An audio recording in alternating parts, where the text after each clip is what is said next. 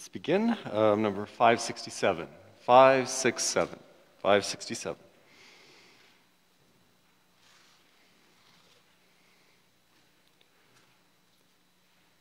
Holy, holy, holy, Lord God Almighty,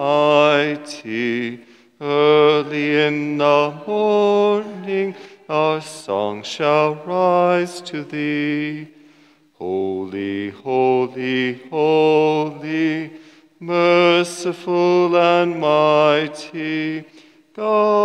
In three persons, blessed Trinity. Holy, holy, holy, all the saints adore thee, casting down their golden crowns around the glassy sea. Cherubim and seraphim falling down before thee, God everlasting through eternity. Holy, holy, holy, though the darkness hides thee, though the eye may blind by sin, thy glory may not see. Only thou art holy, there is none beside thee, perfect in power, in love and purity. In the name of the Father, and of the Son, and of the Holy Spirit. The grace of our Lord Jesus Christ, the love of God, and the communion of the Holy Spirit be with you all. As we prepare ourselves to celebrate these sacred mysteries, we call to mind our sins and ask for God's pardon. I confess to Almighty God and to you, my brothers and sisters, that I have greatly sinned in my thoughts and in my words, in what I have done and what I have failed to do, through my fault, through my fault, through my most grievous fault. Therefore, I ask Blessed Mary, ever Virgin, all the angels and saints, and you, my brothers and sisters, to pray for me to the Lord our God. May Almighty God have mercy on us, forgive us our sins, and bring us to everlasting life. Lord, have mercy. Christ, have mercy.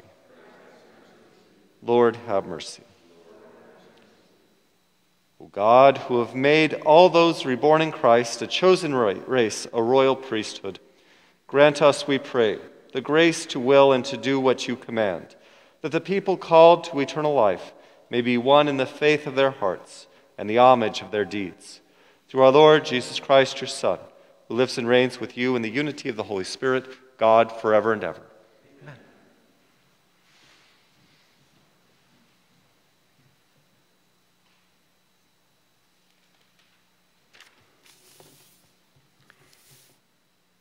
A reading from the book of the prophet Ezekiel. Thus says the Lord God I will take the children of Israel from among the nations to which they have come, and gather them from all sides to bring them back to their land. I will make them one nation upon the land in the mountains of Israel, and there shall be one prince for them all. Never again shall they be two nations and never again shall they be divided into two kingdoms. No longer shall they defile themselves with their idols, their abominations, and all their transgressions. I will deliver them from all their sins of apostasy and cleanse them so that they may be my people and I may be their God. My servant David shall be prince over them, and there shall be one shepherd for them all. They shall live by my statutes and carefully observe my decrees. They shall live on the land that I gave to my servant Jacob, the land where their fathers lived. They shall live on it forever, they and their children and their children's children, with my servant David, their prince, forever. I will make with them a covenant of peace. It shall be an everlasting covenant with them and I will multiply them and put my sanctuary among them forever. My dwelling shall be with them, I will be their God, and they shall be my people. Thus the nations shall know that it is I, the Lord, who make Israel holy, when my sanctuary shall be set up among them forever. The word of the Lord. Thanks be to God. The Lord will guard us as a shepherd guards his flock. The Lord will guard us as a shepherd guards his flock. Hear the word of the Lord, O nations. Proclaim it on distant isles and say, He who scattered Israel now gathers them together. He guards them as a shepherd his flock. The Lord will guard us as a shepherd guards his flock. The Lord shall ransom Jacob he shall redeem him from the hand of his conqueror. Shouting, they shall mount the heights of Zion. They shall come streaming to the Lord's message the grain, the wine, and the oil, the sheep and the oxen. The Lord will guard us as a shepherd guards his flock. Then the virgins shall make merry and dance, and young men and old as well. I will turn their mourning into joy I will console and gladden them after their sorrows. The Lord will guard us as a shepherd guards his flock. Praise to you, Lord Jesus Christ, King of endless glory. Praise, Praise to you, Lord Jesus Christ, King of endless glory. Cast away from you all the crimes you have committed, says the Lord and make for yourselves a new heart and a new spirit. Praise to you, Lord Jesus Christ, King of endless glory. The Lord be with you. Reading from the Holy Gospel according to John. Many of the Jews who had come to Mary and seen what Jesus had done began to believe in him. But some of them went to the Pharisees and told them what Jesus had done. So the chief priests and the Pharisees convened the Sanhedrin and said, What are we going to do? This man is performing many signs. If we leave him alone, all will believe in him. And the Romans will come and take away both our lands and our nation. But one of them, Caiaphas, who was high priest that year, said to them, You know nothing, nor do you consider that it is better for you than one man should die instead of the people so that the whole nation may not perish. He did not say this on his own, but since he was high priest for that year, he prophesied that Jesus was going to die for the nation, not only and not only for the nation, but also to gather into one the dispersed, dispersed people, children of God. So from that day on, they planned to kill him. So Jesus no longer walked about in public among the Jews but he left for the region near the desert, to a town called Ephraim. And there he remained with his disciples. Now the Passover of the Jews was near, and many went up from the country to Jerusalem before Passover to purify themselves. They looked for Jesus and said to one another, as they were in the temple area, What do you think? That he will not come to the feast? The Gospel of the Lord. So, the Gospel of John is the Gospel of signs, or the book of signs. And uh, the last sign that uh, Jesus um, does in the Gospel of John is the raising of Lazarus. So, um, Jesus has just done this miracle, and, um, and it is getting out that this dead man has been risen from the dead um, or brought back to life, rather, brought back to life um, by Jesus. So it shows that Jesus has power over life and death, can bring someone back from the dead, which of course is unheard of. Um, but in the other in the in the Gospels, Jesus does this in other situations uh, where he brings someone back from the dead. Um, and, um, and because of that, we see um, you know, the Passover is about to happen, and of course, as we'll hear about as we be going to Holy Week starting tonight with um, Palm Sunday, how um, this is a particularly uh, politically fraught time um, in Jerusalem because it's Passover, and the Jews are remembering their deliverance, their freedom from uh, slavery in Egypt. So, most likely, you know, they'd be not only thinking of commemorating Passover, but they're thinking about how, you know, they're being occupied by the Romans. And so it's a perfect time for them to cause problems, uh, a riot, what have you. Um, and uh, so, um, so the, the Romans know this. The Romans know this, and the Jewish leaders know this. And they're, they're seeing the signs, they're you know, observing the writing on the wall, and they're seeing this crescendo. You know, with the, signs that Jesus is doing, they're saying, oh, well, we need to put a stop to this because things will go very bad for us if we um, bring it, if we force the Romans to come in and calm things down, which, which will happen in 70 AD anyway, with the destruction of Jerusalem and the temple. But um, so, um, as we are this Saturday, Saturday morning of before we begin Holy Week, we reflect upon just how things are heating up. People are getting ready. Um, Jesus himself is laying low so that nothing happens to him until the appointed time. But of course, in the Gospel of John, Jesus, um, the way the story is told, Jesus has the power to hand himself over. Um, so, um, so it's, it's, yeah. So, as we reflect, um, we will continue to pray and meditate upon these stories of the Passion um, as we prepare ourselves and we remember the Passover and Jesus' passion and death on the cross.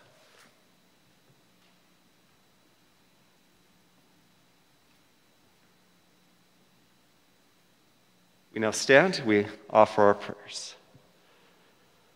Pray for the church, pray for our Pope Francis, our Bishop Oscar, all bishops and church leaders. We pray to the Lord. Pray for all leaders of nations. They work to bring about true peace and justice in our world. We pray to the Lord. Pray for our community of faith as we begin this celebration of Holy Week. We pray to the Lord. We continue to pray for peace in the world, we especially pray for the Ukraine and uh, all the people of Eastern Europe. We pray to the Lord. We pray for all those who are struggling right now and throughout our world. We pray to the Lord. Loving God, we offer you our prayers this day. Fill our hearts with your love. We ask these things in Jesus' name. Amen.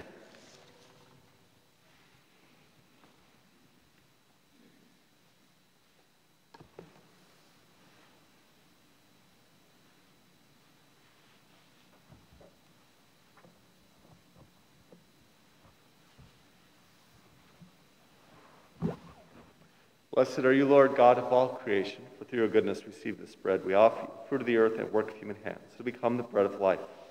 Blessed be God forever.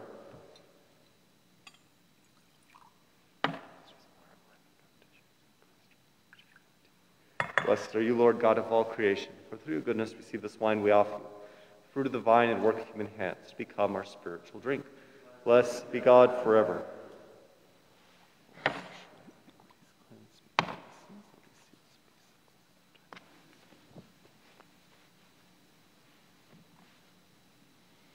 Intention for today's Mass is for, what's his name again?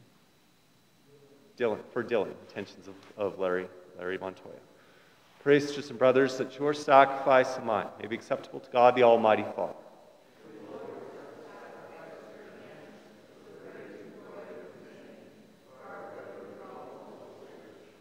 May the gifts we offer from our fasting be acceptable to you, O Lord, we pray. And as the expiation for our sins, May they make us worthy of your grace and lead us to what you promise for eternity. Through Christ our Lord. The Lord be with you.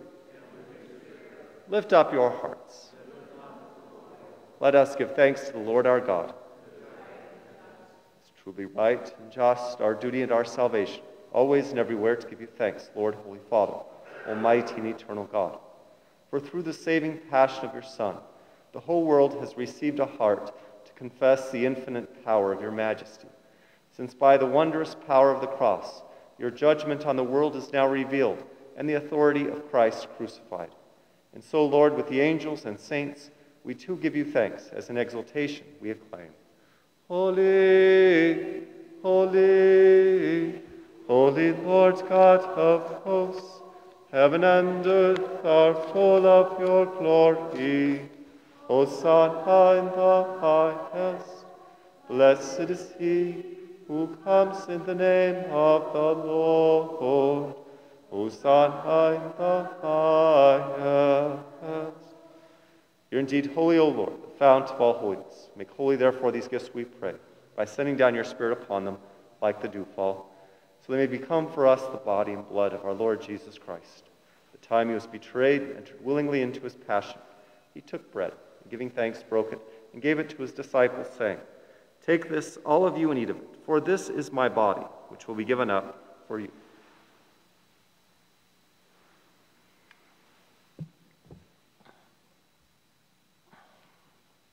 In a similar way, when supper was ended, he took the chalice, and once more giving thanks, he gave it to his disciples, saying, Take this, all of you, and drink from it, for this is the chalice of my blood, the blood of the new and eternal covenant, which will be poured out for you and for many for the forgiveness of sins.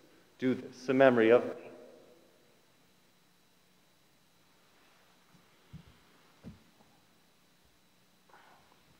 The mystery of faith. When we eat this bread and drink this cup, we proclaim your death, O Lord, until you come again.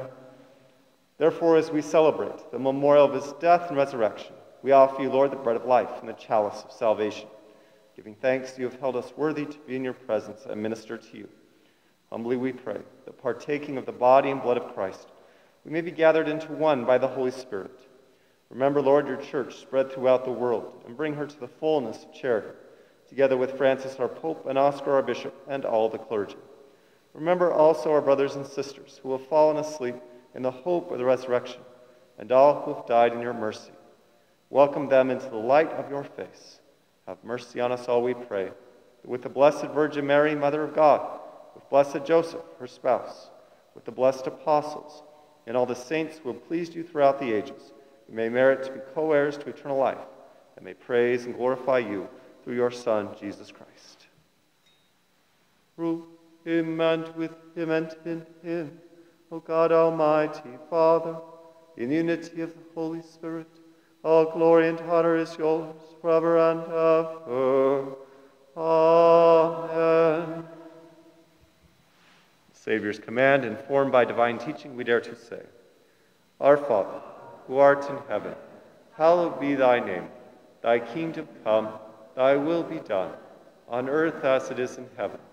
Give us this day our daily bread, and forgive us our trespasses, as we forgive those who trespass against us. And lead us not into temptation, but deliver us from evil. Deliver us, Lord, we pray, from every evil. Graciously grant peace in our days, that by the help of your mercy, may be always free from sin and safe from all distress, as we await the blessed hope and the coming of our Savior Jesus Christ.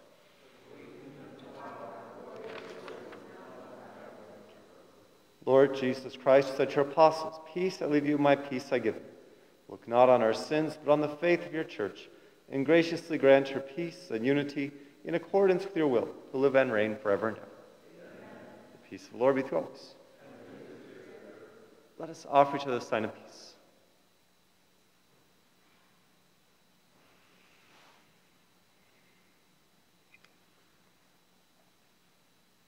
Jesus, Lamb of God, you take away the sins of the world. Have mercy on us. Jesus, Lamb of God, you take away the sins of the world. Have mercy on us. Jesus, Lamb of God, you take away the sins of the world. grant us your peace. Behold the Lamb of God. Behold him who takes away the sins of the world.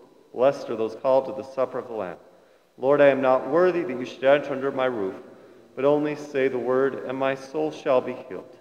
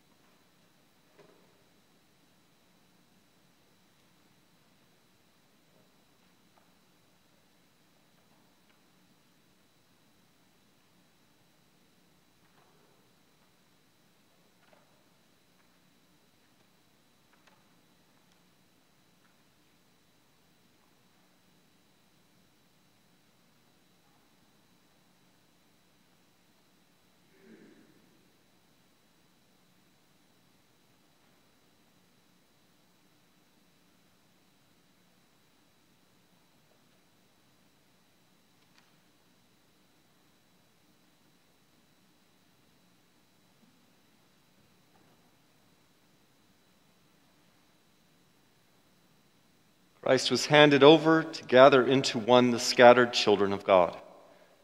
Let us pray. We entreat your majesty most humbly, O Lord, that as you feed us with the nourishment which comes from the most holy body and blood of your Son, so you may make us sharers of his divine nature, who lives and reigns forever and ever. The Lord be with you. Have mercy, Lord, on your church as she brings you her supplications, and be attentive to those who incline their hearts before you. Do not allow, we pray, those you have redeemed by the death of your only begotten Son to be harmed by their sins or weighed down by their trials. Through Christ our Lord. May the blessing of Almighty God, the Father, the Son, and the Holy Spirit come down upon you and remain with you forever. Go in peace. Close. 479. 479.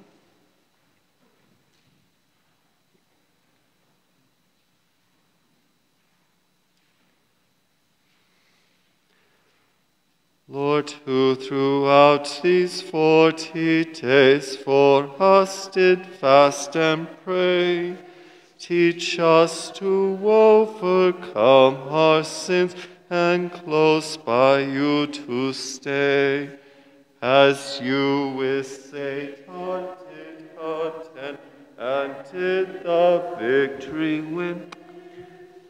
Who oh, great us strength in you to fight, in you to come.